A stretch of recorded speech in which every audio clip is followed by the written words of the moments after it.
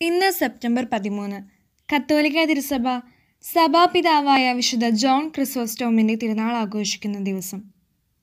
നിസ്തുലനായ ഈ വേദപാരംഗതന്റെ വാഗ്മിത്വത്തെ പരിഗണിച്ച് സ്വർണ ജിഹ്വ എന്നർത്ഥമുള്ള ക്രിസോസ്റ്റം എന്ന അപരനാമം അദ്ദേഹത്തിന് ലഭിച്ചു.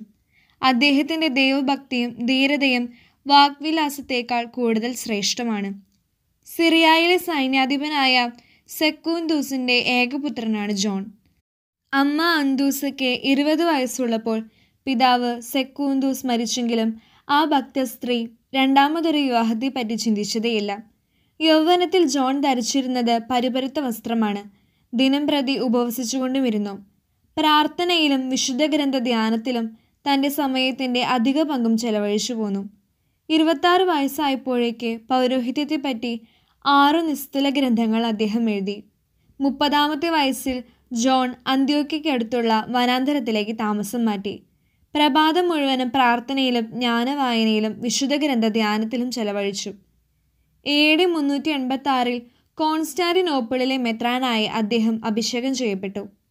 ബിഷപ്പ് ജോണിന്റെ പ്രസംഗങ്ങളുടെ ഫലം അത്ഭുതകരമായിരുന്നു. അദ്ദേഹം കുർബാന ചൊല്ലുമ്പോൾ വിശുദ്ധ സ്വർഗത്തിൽ നിന്ന് ഇറങ്ങി വന്ന് കുർബാനയെ ആരാധിക്കുന്നതായി അദ്ദേഹം കണ്ടിരുന്നുവെന്ന് വിശുദ്ധ നീലു സാക്ഷ്യപ്പെടുത്തി കാണുന്നുണ്ട്.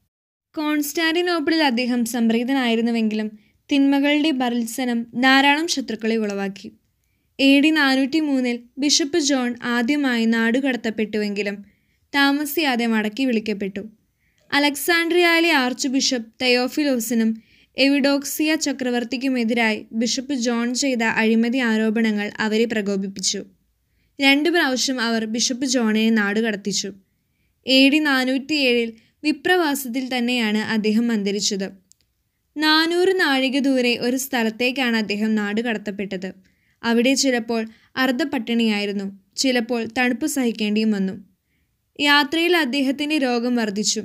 അതിനിടയ്ക്ക് മുഷിഞ്ഞുപോയ വസ്ത്രം മാറി വെള്ള വസ്ത്രം അണിഞ്ഞ് തിരുപാതയും സ്വീകരിച്ചു. സകലത്തിനും ദൈവത്തിനും സ്തുതി എന്ന് പതിവായി ചൊല്ലാറുള്ള വാക്കുകൾ ഉരുവിട്ടുകൊണ്ട് തന്റെ ആത്മാവിനെ അദ്ദേഹം ഈശോയ്ക്ക് സമർപ്പിച്ചു. പൗരസ്ത്യ സഭയിലെ നാല് മഹാപിതാക്കന്മാരിലൊരാളാണ് ക്രിസോസ്റ്റം